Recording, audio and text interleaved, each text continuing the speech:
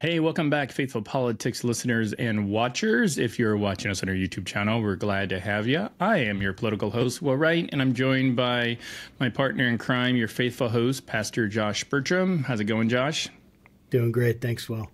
And today we have with us Dr. Guy Golan who's an associate professor, author, and public speaker, over 20 years of ex- expertise in political communication, international relations.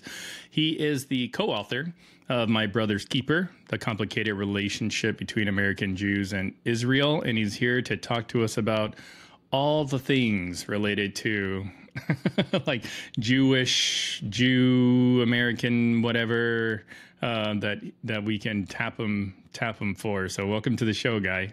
Thanks so much for having me, guys. Um, I I have to start first by just asking you this this I don't know. Hopefully, it won't be an offensive question, but, but, like like you you co-author this book, My Brother's Keeper, with another individual named Guy. Yes. Like, tell me about that because that another just... another professor named Guy who just happens to also be originally from Israel and also live in Dallas. He is he is a amazing. history professor, so he's a history professor, PhD from Yale.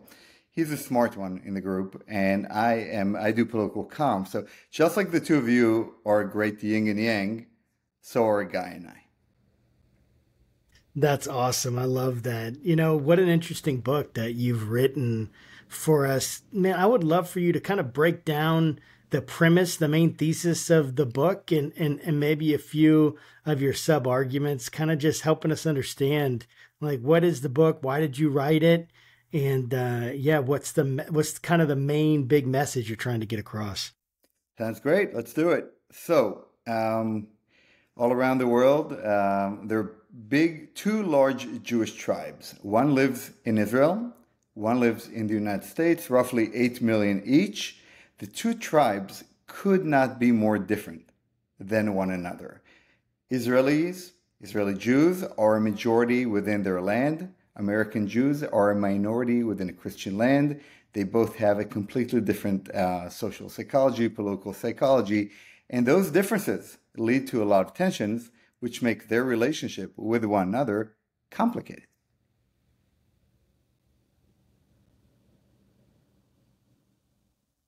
Uh, looks like you're muted, Will. So while Will uh, fixes the mic, I'll just go yeah. on and explain that the book was written because everybody has an opinion about Israel. Everybody talks about Israel. Nobody understands anything about Israel. Most people know very little about it, including American Jews. So when Christians who live in the United States need advice and want to know what's going on with Israel, they go to American Jews for advice, and they're going to the absolute wrong place because their Jewish neighbors are simply not familiar with the state of Israel.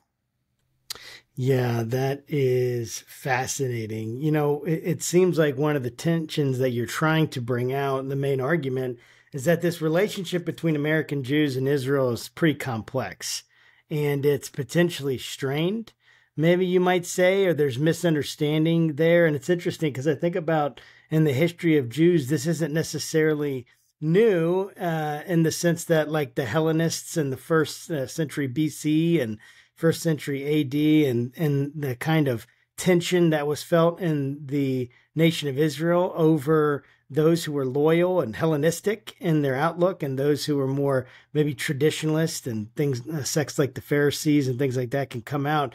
And it's interesting to think about uh, those kinds of connections. I, I, would love for you to help me understand. I, I, kind of understand the, you know, some of the tensions between the Hellenists and the uh, and the traditional Jews in the first century because mm-hmm. I've studied a lot of that and read that. What, what, might be those equivalents today? Thinking about these two groups and maybe the uh, tensions that are there. Josh, it's a great question. I, I think a lot of the same tensions exist, only now we have iPhones. So, um, just like many other uh, religious groups or people around the world, there is a tension between um, the nationalist religious nature of uh, Jews in Israel, so who are very proud of both being very nationalistic and very more religious, and the more secular, more globalist, more humanistic nature of the American Jews who look forward. So, you know, you have one group who's looking, is looking to the past for guidance and another group who's looking uh, to the future for guidance. I think this tension really is common all around the world. We see it within American politics. We see it within European politics. We even see it, you know, all across you know, other societies. But in Israel, particularly, because it's much smaller, it comes to fruition a lot more. You know, can, can you hear me now? Absolutely. Yes. um, I, I, am curious if maybe we can just sort of define some terms here. Um, sure. So when when we say somebody is Jewish or somebody is a Jew, like what what are we conveying about that person? Okay, that's a great question. So our first chapter asks a simple question: Are Jews a nation, right? A people, an ethnicity, or a religion? And this is seems a very straightforward question, but if you ask people in the two major tribes uh, of Israel, they're going to have different answers. So uh, let's talk about American Jews first. About 70% of American Jews fall under the larger umbrella of Reform Jews. And this includes conservative Jews, constructivist Jews, and so on. Um, what does this mean? During the emancipation period in the 1800s in Europe, Jews were offered a deal. And the deal was very simple. If you want to be citizens of Holland, France, England, take off those funny hats, stop acting differently than everybody else, and become regular Europeans, right? So a lot of Jews back then changed the way they practiced Judaism, right? They started drive. Oh, they didn't drive with it. They rode their horses to synagogue on Saturday, which you know is forbidden, and uh, they they took their children out of Jewish schools and they put them into regular schools, and you know they adopted more of the uh, lifestyles of their Christian neighbors. And when American Jews came to the United States in the early 1900s, again from Central Europe, most of them, and Russia, they had the same deal in the United States.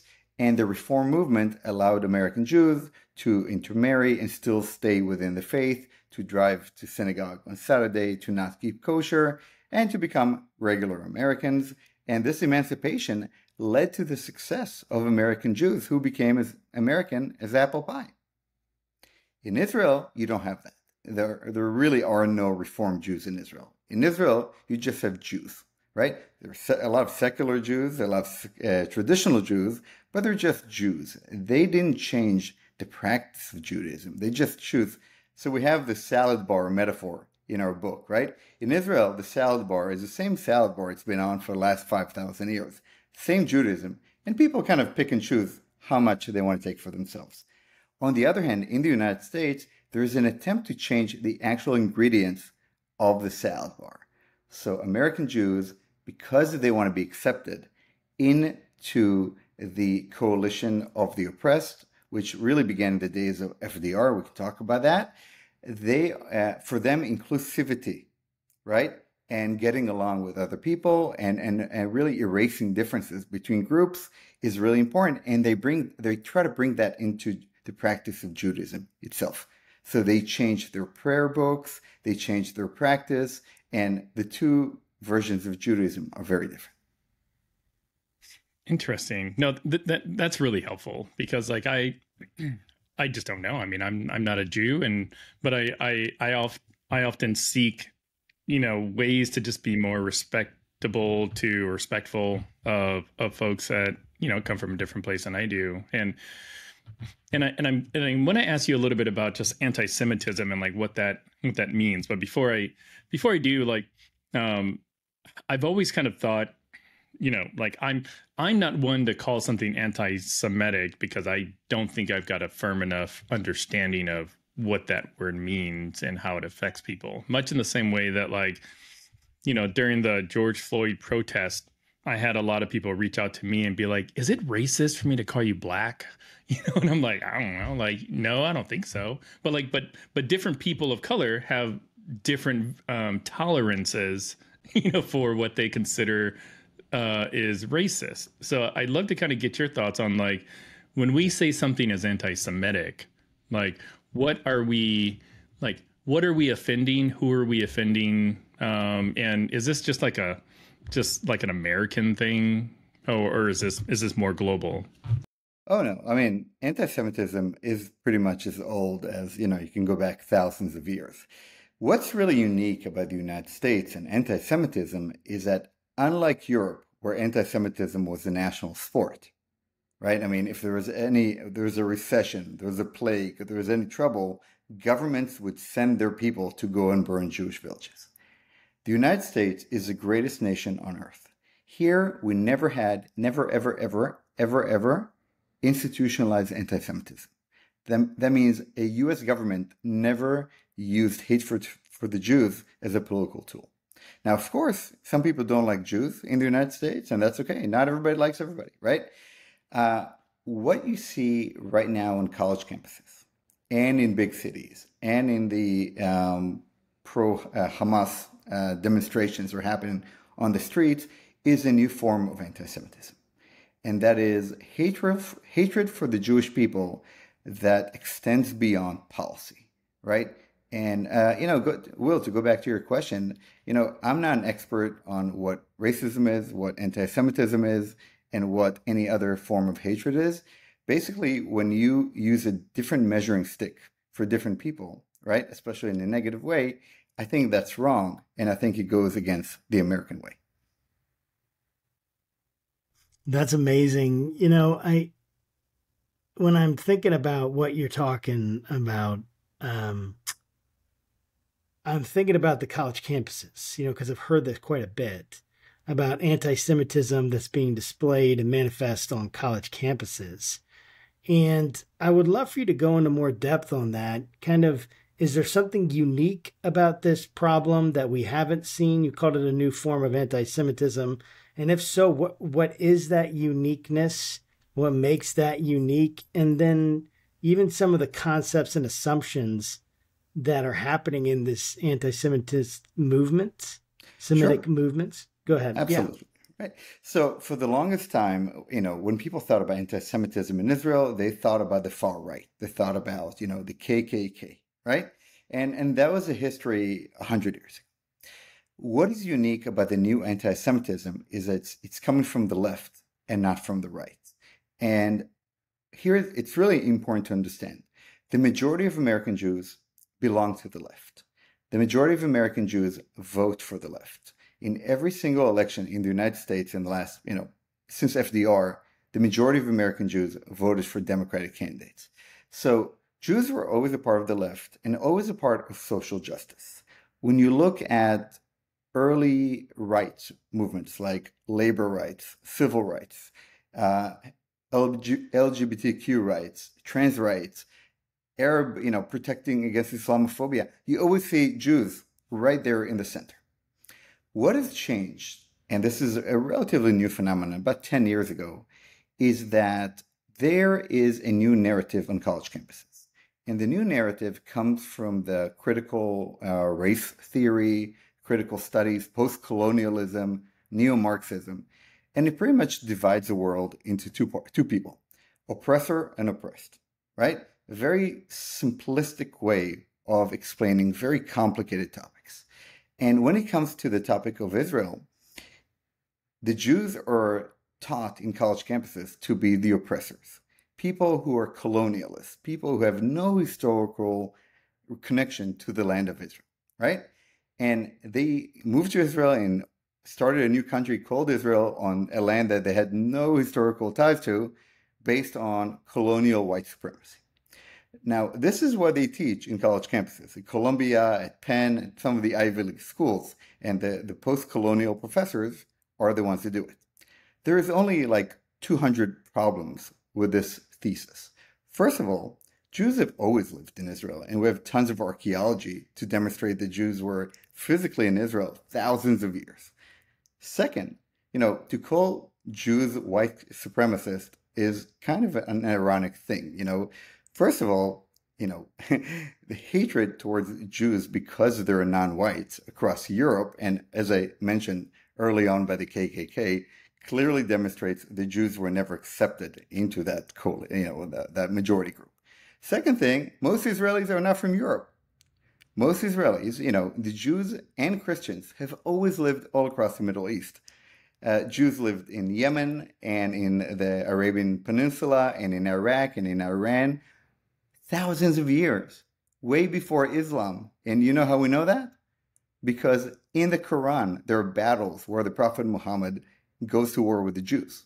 So Jews and Christians have always been a part of the Middle East, and about 50% of Israelis are from either Northern Africa, so countries like Tunisia, Morocco, Libya, or countries like Yemen, Iraq, and Turkey, right? So this is the new narrative of anti-Semitism. It's it's it's it's full of holes, but it plays really well into the larger narrative that pretty much blames the United States, Starbucks, and Israel for every single problem that's happening across the world. Well, um, I'm not going to push back on the Starbucks comment because um, I'm just not. But but but I, I do want to ask about, you know, like you you you talked about sort of the the role of maybe professors on a lot of college campuses and you know kind of creating this I don't know perception of of Israel and and Jews and and whatnot. And I and I, and I I'd love to kind of just maybe dig a little bit deeper into that. Like like what what are protesters getting wrong um, about say especially what's happening in in Gaza right now? I mean I I I'd be the first to say that it's it's a very complicated situation um, is I'm I'm in the camp and I and I'm a liberal. Like I'm I'm in the camp that Israel has a right to defend itself. Um, on the same token, like they are killing a lot of people. so like sure. and that's not funny. I just that's that's how I that's how I react to things. Well, um, it's, it's it's heartbreaking, right? So so let's talk about it. First of all, let's identify who the protesters are. Okay, you you see these college campuses, and you're going to identify the strangest coalition in the history of political coalitions of all times. You essentially have two main groups who are protesting, you know, on college campuses and on the streets and, and against the DNC these days, right? The people who call uh, Kamala Harris Killer Kamala, or the people who refer to Joe Biden as Genocide Joe. On one hand, you have the Islamists. These are Arab American and Muslim um, immigrants, first generation, second generation immigrants to the United States, and their sympathies is for Hamas.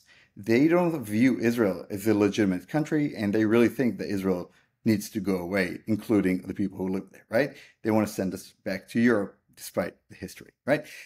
The second group, and, and this is where the irony comes, are social justice warriors from the, the, the LGBTQ circles from the trans rights movement, from the people who supported uh, BLM. Now, the problem with this coalition, the reason why it's so irrational, is that every single social justice principle that the people from the progressive left believe in women's rights, gay rights, trans rights, equality for all people, uh, not treating people differently based on their religion. Every single one of those principles is completely and utterly rejected by every single person who is uh, demonstrated along with him. People who support Hamas and Hezbollah and the Muslim Brotherhood and ISIS and believe that Islam should be the thing that guides all politics in the world. They don't believe in gay rights, trans rights, women's rights. They don't believe in freedom of difference, right? If you disagree with them, you are a sinner and your faith is not a good one. So this ridiculous, ridiculous coalition we see on college campuses, right, makes no sense. So you, you see, you know, the, the queers for Palestine wearing the kafia. The kafia is the symbol of Muslim resistance against Christians and non-believers. Ironic. It, it, the the kafia just just real fast is is that the like the checkered looking like red and white or black and white thing? Uh, there, there are many colors and different uh, movements within the Arab world use them differently. The Jordanians different one than the Palestinian one, than the Syrian ones, etc. But in the context of the demonstrations, right, where people are literally yelling, "We will bring the Intifada here." Intifada means armed resistance. Okay? You have people burning American flags on the streets of New York, in DC, and on college campuses, and rising, raising the flag of Hamas, Hezbollah, ISIS. What is going on here? That is wild. It's absolutely wild. You know, you you have been talking about this idea of the disillusionment almost of kind of American Jews having this weird uh, coalition now, or, or or even like feeling like they're struggling to belong within the Democrat Party, which they've traditionally supported.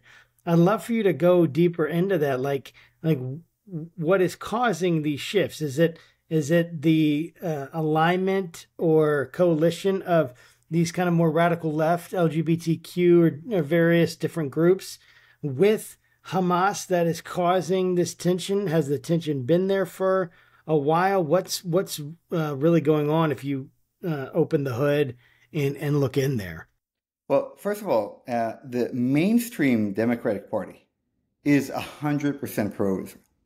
We just had the DNC conference, and everybody from Harris to even AOC, they stood on the stage and they said, We support Israel and its right to defend itself, right? AOC totally sold out her supporters, right? But she's she's going to run for Senate in a couple of years. So she needs she needs the support.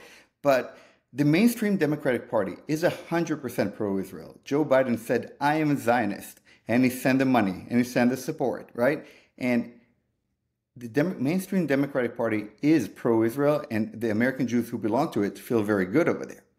The problem is on the progressive left and the social justice movement. I told you, Jews have always been a part of social justice, always, always, always. And now, for the first time, American Jews are provided with a new litmus test that says, look, if you want to be a part of the social justice movement, you can be pro Israel. And this is a new thing, and this is causing a lot of people in the American left a real cognitive dissonance because they see themselves as progressives and they just don't know what to do with the new hatred. That's that's really wild. Um, I mean, it, it it definitely makes me think because I consider myself somewhat progressive. Um, I mean, but I don't hate anybody really. Um, so I'm not sure who these who these other you know people are, but I mean, all these haters. Well, I know. I mean, all these haters. It's, it's one of those things where like I I can appreciate the nuance and and all the demonstrations. I mean, I I won't I won't probably change my view about Israel has a right to defend itself, like full stop. But like I'll have commentary about, hey, you can't be killing forty thousand people, you know, indiscriminately. like That's, like Will, but Will, let's let's talk about that real quick. Mm-hmm. Okay. Look, when democracies fight terror organizations, they're fighting a really ironic battle because when the United States fought in Afghanistan or in Iraq, or when Israel fights in Gaza, you have an incredibly crazy situation. Hamas benefits from the death of civilians.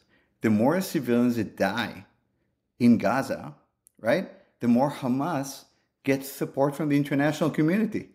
And, and here's the crazy thing Israel is the only military in the history of the world that announces, pre-announces its attacks. It, it clears out citizens, right, from areas and said, listen, we're about to attack here, please leave.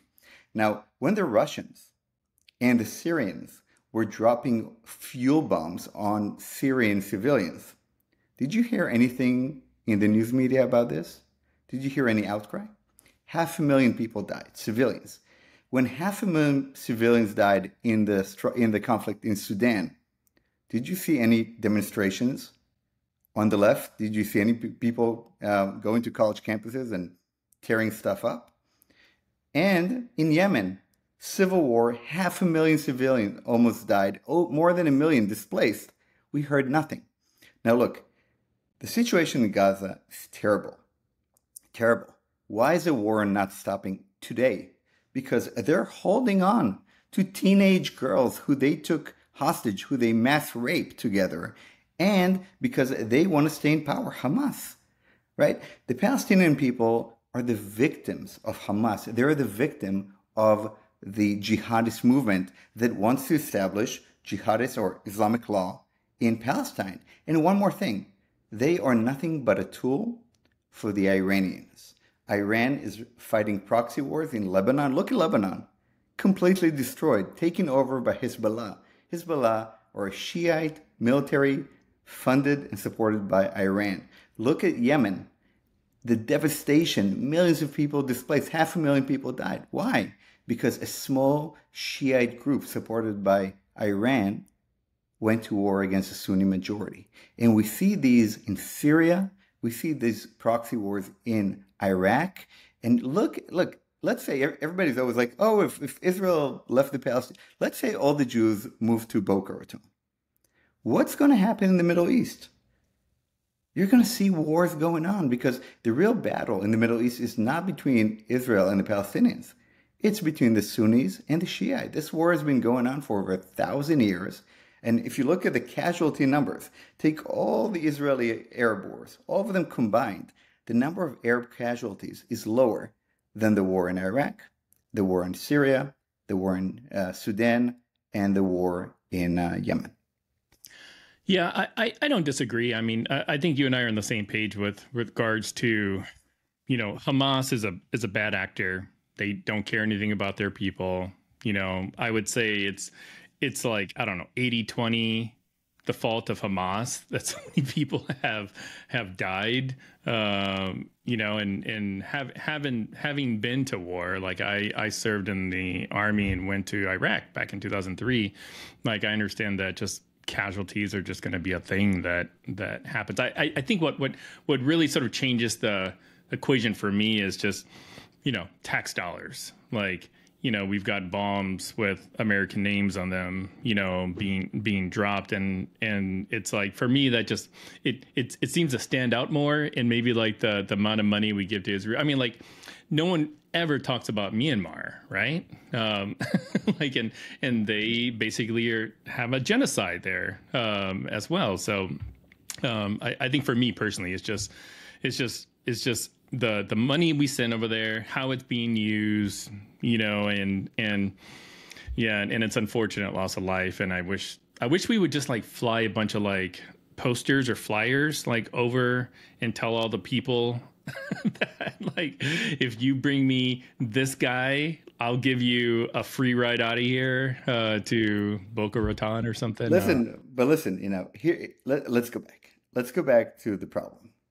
And, you know, I, I think this is where our book really uh, brings a unique perspective. Israel serves as a fantastic metaphor for global tensions. And, and I want you to think about how unique Israel is within the West.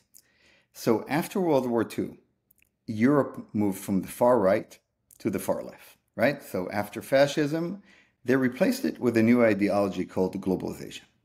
And they said to Europeans, You are no longer Italians and Spaniards and Germans and Frenchmen. You are Europeans. You no longer have the franc and the lira and the peso. You have the euro. There are no more borders between the countries. Everybody can work anywhere they want, right? So Europe rejects two things nationhood, nationalism, because they thought nationalism is what brought World War II, and religion. So Europe becomes, you know, one of the most secular uh, geographies in the world. So the new ideology called globalization, right, and global humanistic, you know, everybody everybody's the same. Everybody can move anywhere and become equal citizens of that country. When, you know, so you can land from Sweden tomorrow, from Afghanistan, and you're just as Swede as a guy whose father was in Vikings season three. But there's a problem there is one country in the West that says, no, no, no, no, no. We are not giving up on our nationalism. We're proud of our flag. We're not giving up on our religion. We are proud of our religion. And you, you said, Will, something very important. You said, you know, I know that the United States has their names written on the bombs in Yemen and in Syria and in Iraq and in Afghanistan, and I'm okay with that. But it, it hurts me when it goes to Israel. Why is that? Because think about it. Israel serves as a daily reminder to the Western world that the values that they seek to abandon are still relevant and still salient. And now, if you've been following European elections all across in Italy, in Holland, in France, in Germany. You see the rise of the right. And the right is asking for something simple. We want a country for people. We want nationalism back. We want to put our flag back. And we want to have control over our country instead of the bureaucrats in Brussels. So, this is why Israel is such a thorn in the butt of the West and of of Western politics, of uh, leftist politics, and this is why this country gets so much attention, much more attention than most countries around the world. So I listen to you, and I'm absolutely fascinated, and I face an internal tension and a problem. And let me see if I can articulate this well essentially i'm thinking I, am hearing you speak and, and and it's making a lot of sense to me the things that you're saying and i'm wondering you know where does someone like me how am i able to access the kind of information and data that let me come to the conclusions that you have come to without necessarily relying on you having to tell me. I mean obviously i would want to know your opinion. You're an expert in this. I want to hear it. Yeah i love to and, and primarily to hear the way a great mind works and thinks about these really significant issues. But if I'm like, you know, out of this conversation and then I hear someone at the gym and they're telling me they're murdering, it's genocide, there's all this stuff, and I hear the same data interpreted a different way, how can I distinguish between the two to come to the place as an American to say, yeah, I I I think Guy is right. I think he's the one with the opinion that I should that I should adopt. What what what, what well, tools do we have? Do, what can we do? First thing you can do is uh, get a copy of this book, My Brother's Keeper: yes, Complicated yes. Relationship. Uh, no, just kidding. Look, most Americans, the vast majority of Americans, support Israel, and it doesn't matter Democrats, Republicans, Independents the American uh, public opinion goes with Israel. Why? Because Israel is a part of the Western world, and so is the United States. We share the same values. Uh, I think you, Josh, particular as, as a pastor, as a person of faith, I think you have a deeper relationship with the state of Israel because in this, you know, in our book, we have two really cool chapters. One of them is called Why Do Evangelical Christians love the Jews. Not Israel necessarily, but the Jews. And the second one is why do American Jews distrust evangelical Christians? and and this is a really interesting thing. So let me just tell, share some information most people don't know about. When it comes to supporting the Jewish people, there is not a single group who is more dedicated to this cause than evangelical Christians.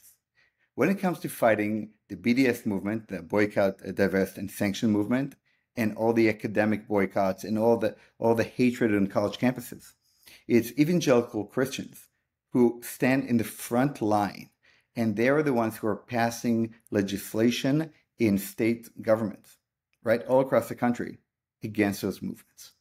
Why is that? Why are evangelical Christians so committed to the state of Israel and to Jewish people, right? So this is really an important question. It, it shapes Republican politics. It also shapes um, mainstream Democratic politics. And the answer is, and I think you can answer this question better than I, that, you know, because evangelical Christians, people of the book, you know, those who will bless Israel will be blessed and those who will curse him will be cursed, right? That, that promise to Abraham that God made is so important and so significant. And, and I even want to show you an even more ironic twist in this plot. When American Jews and even secular Israelis, right, people who live in Tel Aviv and are just, you know, trading crypto and Bitcoin, right, and all of that, when they hear the names Bethlehem or Bethel or, you know, any in Nazareth, right? For them, you know, the secular people, they think, oh, the occupied territories, right? This, you know, these are these lands don't belong to us. These are Arab lands. Right? And and this really supports. That's why you know if somebody says, "Hey, you're a colonialist," if you're secular and you're, if you're not familiar with the name, right, of Jericho, right, or Shiloh, or any of those, you're like, okay, yeah, those are Arab towns. But if you read the book, right, if you listen to the Word of God, if you understand that Jesus walked in those places and the Jews have always lived in the land of Israel, in Judea, right? You understand that these are indigenous people. This is a huge difference between evangelicals and American Jews because the secular or the reform American Jews, they're not as familiar with those names as evangelical Christians are. Isn't that ironic? That's really cool. Yeah. You know, speaking of Jericho, that that's actually my uh, my oldest son's name. Um, good name. Good name. and uh, yeah, and I, I definitely agree. It's it's actually kind of cool. Like when you when you say those names, the the connotations differ, right? Depending on where you're kind of from, what your faith background is. Um, I, I don't look it, but I'm also a believer as well. I actually attend Josh's church. Um, sorry, Josh. but but I, I am curious, guy. Um, like, wh- what effect do you think, if any, does like Bibi Netanyahu's sort of I don't know character, persona, role? Do you think play into a lot of you know America's anti-Semitism? Um, none. Bibi Netanyahu doesn't lead to anti-Semitism. Um, people who hate Israel on the left hate Bibi, and Bibi is just you know Bibi is a proud Jew and a national Jew. So again, those values that the left absolutely hates, right? He is the spokesman spokesman for those values. But when you think about world leaders, if you go right now to Tajikistan or South America, right, or, or somewhere in Africa, and you ask people who are the five most important world leaders, they're, they're probably going to say Trump, Obama, right? They may say, you know, uh, Giorgia Meloni from Italy, right? Or, or, you know, maybe Berlusconi or, you know, from Italy back in the day, or Lula from Brazil, or Erdogan from Turkey. But everybody's going to say Bibi Netanyahu. Everybody knows him. Bibi is, has been, is one of the most famous international brands. And what does the brand represent? Nationalism and religion. People who are okay with those two terms, right? Like people on the right, love Netanyahu. Netanyahu is a hero of the right in Europe and all across the world. Who despises him the most? The New York Times. Yeah, I, do, do you think there's any um, credibility to to a lot of the stuff that that I've been reading? You know, like like Netanyahu has some legal issues, and there's some you know speculation that he wants the war to be prolonged just to keep himself out of jail how many times have we heard similar narratives about Biden, right? That Biden is staying in power to protect his son so he doesn't go to jail, or about Trump, that Trump is only doing this or this to stay out of jail. You know, those narratives are not serious. You know, I'm not a huge supporter of Bibi at all. I'm far from it. I've never voted for the guy. I actually worked on the 1999 campaign of Ehud Barak, where we defeated Bibi Netanyahu. but I'll tell you one thing Bibi Netanyahu is a patriot. He loves his people. And I don't think a single Israeli leader, no matter from the left or from the right, could have ended the war today. Because what Hamas wants is to stay in power, and no leader can allow them that. Um, last last question before I ask you um, about where people can find your book, but like, how do how do you think this whole thing ends over there between like Hamas and in in Israel. Uh, I mean, there are no right or wrong answers, but you know, we've spoken to a lot of um, scholars, professors that look at this stuff and there's like probably the way it's always ended, like never. so, so I'd love to get your thoughts. Well, here's my expert opinion. I have no idea. and bottom line is that the war against Hamas, you know, let's say it ends tomorrow. Well, guess what? We're going to have a war with Hezbollah coming up right after it. It's and true. after that, when that's over, we're going to have a war uh, when Jordan falls, and Jordan will fall in the next 10 years and become another land of anarchy. Because until Israel or the West decides to take out, or Saudi Arabia for that matter, decide to take out the Iranian Ayatollahs, they are the cause of all of the instability in the Middle East. As long as the Ayatollahs are in power, there'll be war in the Middle East, right? Don't forget, until 1980, 1979, Iran was a friend of the West. And the, the revolution, the Islamic revolution in Iran, is behind most of the bloodshed of the last, you know, 40 years. Wow. Well, on that happy note, um, how can people find find your book, Guy? Thanks so much, guys. Thanks for having me. Of course, you can find it on Amazon and on GuyGoTV.com, where you can find all of my social links as well. Uh, what is what is Guy Go TV? Do, do you have a, a television network? Uh, no, I have a podcast of my own. So yeah. Oh, what's the name of your podcast? The Public Diplomat. I've been podcasting for 12 years already. That's awesome. awesome. Yeah, thank you. That's great. Well, make sure you go pick up the book and go listen to Guy's podcast. Wait, is is the other guy on your podcast as well, or is it just you? Sometimes, but he's too busy writing uh, smart books about history. So, yep. All right. Well, th- thanks again, Guy, for everything. This has been great. Um, yeah, I I learned a ton, and yes, yeah, good luck. Good luck with the book. Okay, gentlemen, thanks for having me. Appreciate it. And we will see you all next time. Remember, keep your conversations not right or left, but up. And we'll see you next time, folks. Take care.